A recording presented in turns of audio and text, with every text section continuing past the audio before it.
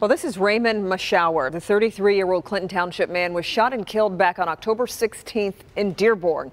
Well, today, Dearborn police, along with Crime Stoppers, pleading for the public's help to bring his killer to justice. Our Koco McAboy shows us how they're hoping a reward can breathe new life into this case.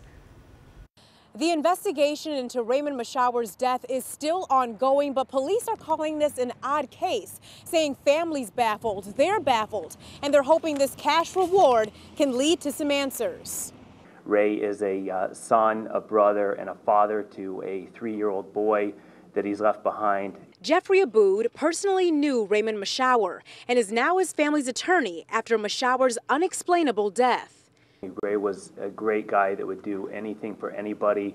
His family is uh, is grieving. They're devastated. They don't deserve this. Nobody deserves this. Commander David Robinson says their department is now trying to work through two major questions surrounding this case.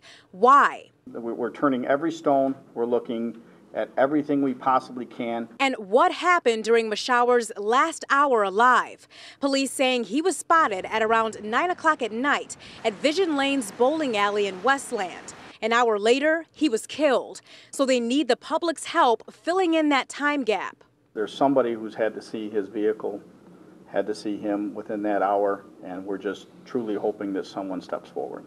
To give police more clues to help solve this perplexing case, and most importantly, so what we're doing is to try to bring forward some sort of closure for this family and to find the answers for this tragic event. The family attorney says the family is adding $2,500 to that cash reward, so anyone with information is asked to please contact police. In Dearborn, I'm Koco McAboy, Local 4.